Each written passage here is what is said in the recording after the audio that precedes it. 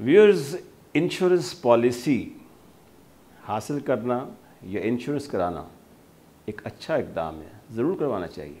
लेकिन इंश्योरेंस करवाने से पहले जब आप पॉलिसी पर साइन करते हैं तो उस पॉलिसी में मौजूद तमाम बारीक बारीक शिकों का बगौर जायज़ा लें। अगर आप खुद नहीं समझ सकते तो किसी पढ़े लिखे शख्स के साथ बैठकर उसको समझ लीजिए। और उसके बाद आप साइन कीजिए।